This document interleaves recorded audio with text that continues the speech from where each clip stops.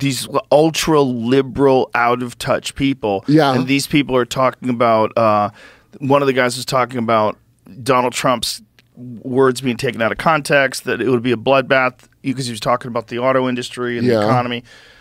And then this guy starts bringing up other episodes of violent rhetoric. rhetoric. It's hilarious, but you Yeah, gotta guys- watch this. Look, give me some. Oh, volume. Give me some. God, volume. well, No, what I hold on. guessed- seized on those comments and said they were an example of him calling for political Yeah. violence or predicting violent actions if he didn't win in November. His supporters said that those comments were taken out of context. like to punch him in the face, I'll tell you. Trump has a history of using violent rhetoric dating back to his 2016 campaign. That language took on new significance after the January 6th attack on the Capitol in 2021.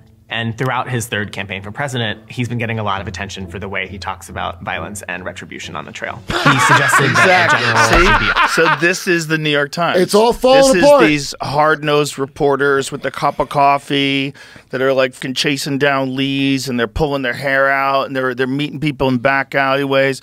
This is Woodward and Bernstein. Do people think that's this still- is Watergate? Like- like- no, but I mean they're they're essentially like ultra hard left activists that are masquerading as journalists, and everything has their opinion on it. They're Every also they're front also page yeah, article. they're also masquerading as activists. They're bourgeois twits. Yeah. They have a lifestyle brand, which is I'm a Sex in the City guy or gal, and I work in the paper. They do Uh-huh. the same amount of work as when you see those a day in the life at Google. First I go to the chair. It's Twitter. Yeah, that yeah, video. whatever. That video They- is amazing. Yeah, and they don't they don't even make that. Well, New York Times, that's the big time. So all the plum jobs, you know, like it's all it's kind of similar to uh, when people were mad that Seinfeld. They were like demanding to know why riding in uh, co- to get coffee with Seinfeld in cars isn't a diverse enough.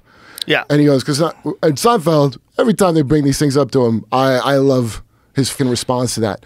But at a place like the New York Times, they have to go, oh, we need to bring these. So all, all like, exa- how exactly you put it, the, you could guess what they look like. All of them have moved up from like the Gamergate, which at the time I was an adult and I was like, I don't care about this, but they've all we're moving up in the world of media because wh- where's the money coming from? You got to hope you do well enough at uh, making little smear articles on a shitty video game website to get picked for the big leagues, and some people did. Yeah. and they've been moving up, and then you re- like me, I like, I'm, oh my god, twenty years have passed, and then I see like that's that little twerp, like if uh, the the one that got Shane fired actually went somewhere in life. If I find like there's people like him that work with the DHS to about the terrorism of uh, you know saying whatever whatever the fuck this idiot's referring to. Well, yeah, they've they're they've become embedded in the intelligence community. Well, they're all. It's all a thing of like your career, right? If you want your career, you can either say the truth about a thing, about a thing, or you can worry. Oh, you must not want to have a good career. Yeah. Oh, your career. Uh, go keep. All, people have to do is not be a punk to their career. I'm not saying careers don't matter. I'm saying um, I will never be a bitch to a fucking career. Like, who would do that? Yeah, but you don't have to. See, the difference between you and a guy working in government, it's very stark, stark contrast. Oh no, in government You're you a have comic. Yeah. Yeah. Well, but even comedian incentives got perver- perverted. Like I work in government at a certain point. Did they though?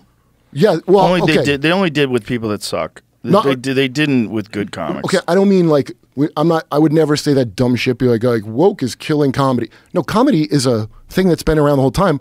What it'll kill is like your Disney fucking corporate uh, figuring out how to sell it to people. Yeah, that's killing that. Yeah, the movies.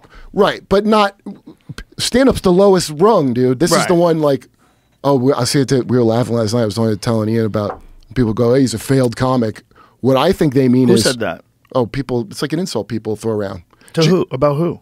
Well, uh, the example I'm thinking of while I say this is because I sidekick on Jimmy's show.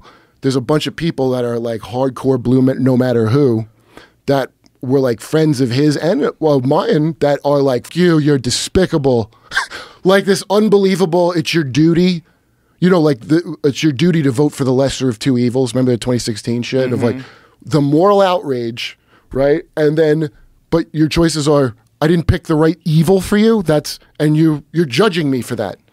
Because you didn't take a stand in the right direction. There's direction. nobody who's not that's evil, the though. only way it's going to work out. They don't even say the right. They don't say the right direction. They go, the less evil direction. Like I'm supposed, my heart's supposed to Wait, swell with emotion. Also, you're not supposed to stand up and say, "Hey, both of these things suck," because if you do, then you're you're on the wrong side. but mine's better though. Admit that.